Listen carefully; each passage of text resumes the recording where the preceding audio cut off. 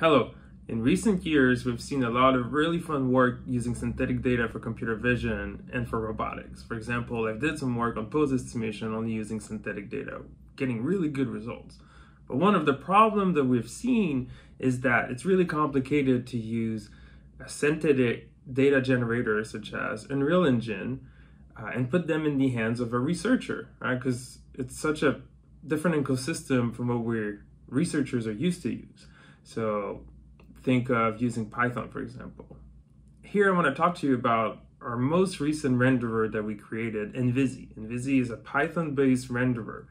We did some work to integrate this renderer inside the ecosystem that Python is. It uses OptiX as a backend in order to get really good performances for leveraging the GPUs to get really crisp images you can see some of examples right now that as I'm speaking, they're sort of popping up around me.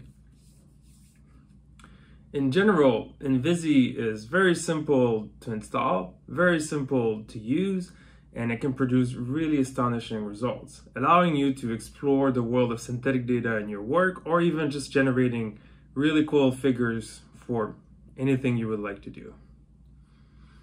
In this clip, I would really like to sort of look into how to code a simple example in NViSII, how to install it, how to get some results out of the door, and how to leverage the examples and the documentation that we have so you guys can also create some really cool pictures. So let's start by installing NViSII.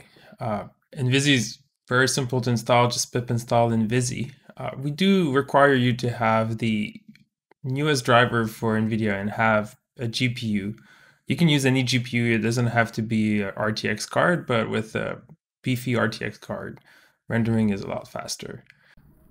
So let's just create a simple file. We're gonna import NViSII. Uh, NViSII is all written in C++. So we're kind of calling the API for uh, through Python interface. So we're going to start by initializing our, our world. There's a typo there. I'll fix it later.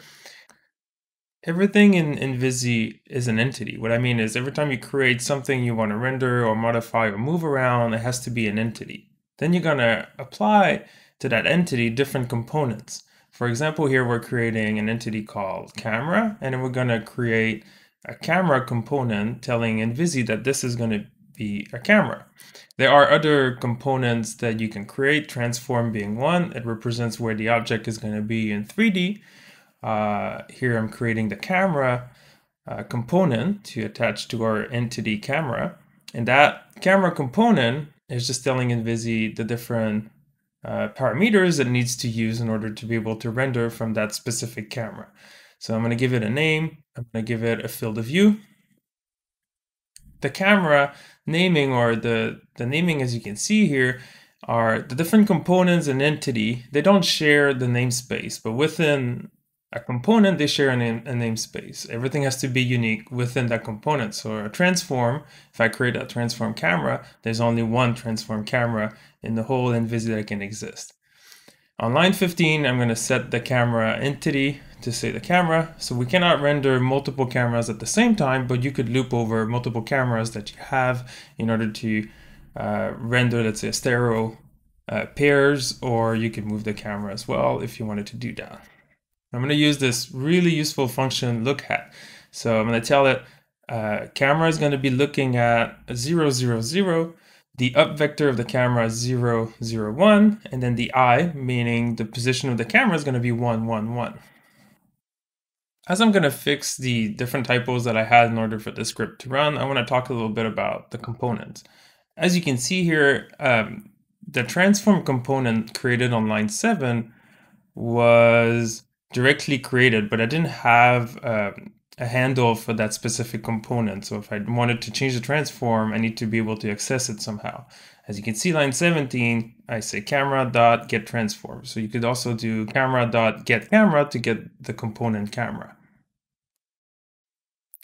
So now that I fixed some of my typos, uh, let's look at how we can render that image. I'm going to use this infinite loop in order to get the rendering screen open and running. And now we have our first hello world in, in NViSII. Very exciting. But is it really exciting? Let's try to add some geometries in there. I'm going to create a sphere again. It's an entity. I'm going to give it a name. So to get things a little running differently, I'm going to create the entity, but I'm not going to create inside the constructor any of the components. I'm going to create them outside that constructor. So sphere, I'm going to go in and set a mesh inside that sphere. So NViSII comes with a bunch of predefined geometries that you can use. In this context, I'm going to use uh, create sphere. You could look at the documentation to see other geometries you could create using our interface, but you could also import OBJ files or GLB files or any files really, because you could even pipe information in NViSII from raw data that you're loading through, let's say the Python interface, for example, which is really useful because Python has this really rich ecosystem for you to build on top of. And here I'm going to attach my transform to my sphere. I'm going to put the sphere right in the middle of the scene. By not passing any arguments to the set transform, everything is going to be at zero, zero, so I can just skip. So materials are really important when you're doing ray tracing. They're going to define how light is going to travel when it's going to hit the surface of any geometry. Uh, more specifically, I'm going to return to materials and run a little demo for you guys so we can really explore that. For now, we're going to use the materials in order to define a color. So let's look at how I could also get a handle for the material of the sphere.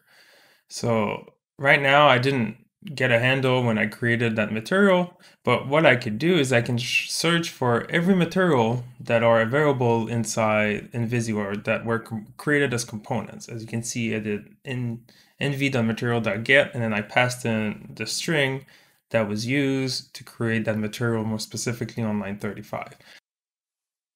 So now I'm going to apply a color to the material. Uh, so for now, we're just going to keep it really simple. We're just going to create this like bluish color for that material. There's a typo here on line 23. A sphere should be a string, not a handle or an object. Uh, it looks a little flat. So I think we're going to spend a little time here to kind of add a light here, for example, that might be quite interesting. So like we did before, we're going to create an entity. We're going to attach some components. So we're going to attach a transform components and then a light component. There are different ways to create a light in NViSII. Right now we're creating a point light. So we're just going to create an entity. We're going to create a component light and we're going to create a component transform as well. You could also use a mesh component here, and NViSII will use the mesh and the normals of that mesh to emit light in these different directions, uh, creating, let's say, for example, a sun or if you wanted to have a surface that emits light everywhere. So I skipped a little bit here. Uh, I want to see how we can control the light uh, source in order to change the temperature of the light and change its intensity. So here we're going to go get the light through the NViSII component search. And then using that, we're going to use the, we're all going to look into finding how to set the temperature and how to set the intensity. So the temperature refers to how yellow to blue the light is going to be. So the lower the value it is, the yellow it is, or the yellower it is, and then the higher it is, the bluer it is. And using the intensity, we're going to create how strong that light is going to be. Um, noticing that the light position here is not that great, so I'm going to move it a little bit to get a little bit more of a nice shading effect on our sphere. And now you have it. This is a more complete uh, example. But in most cases, for machine learning, deep learning, computer vision, and so forth, or robotics, we would prefer to render these images headless. Like the we're running a script on the server, and all the images are getting dumped into a file.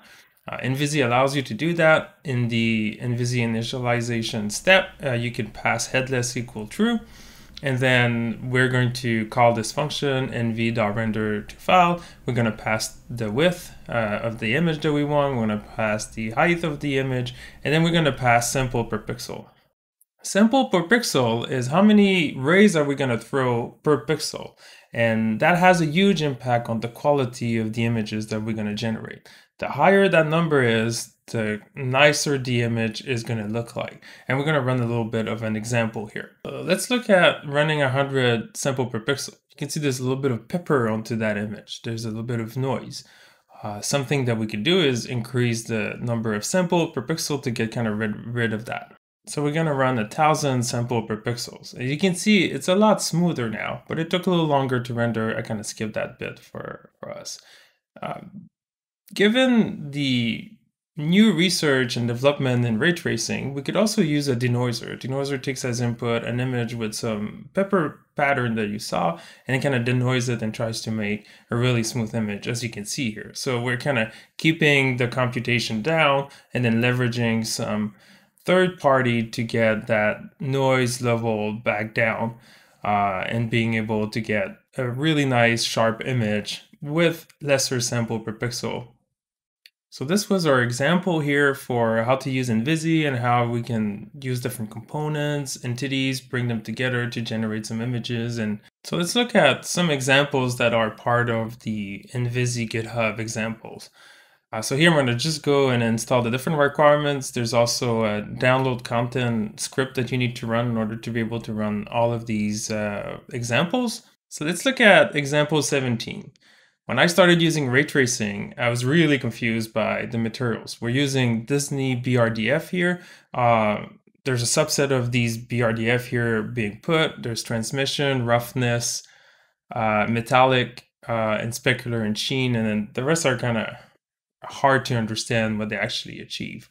The one that is the most important are the roughness and the metallic. So let's remove the specular. You can see now we have a pretty matte object. And then transmission, is just gonna create a, uh, a transparent object like a, a glass.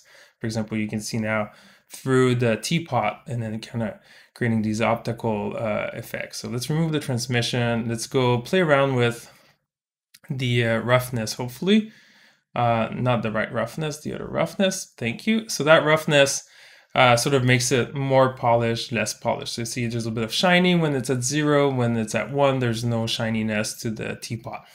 And then if we play around with uh, metallic, then metallic is going to create that shiny objects like right so it kind of mirrors when you have metallic at one then you get this really really shiny object and then you can also create uh, you can mix and match, match them. So if I add a little bit of roughness, it's kind of a, a brushed uh, metallic object. And then you can play with sheen and specular to get some other effects. But really, if you're playing around with roughness and metallic, it kind of covers like 90% of the different ways you would want to play around with the materials. Um, obviously, graphics people wouldn't be happy with what I just said, so I'm sorry.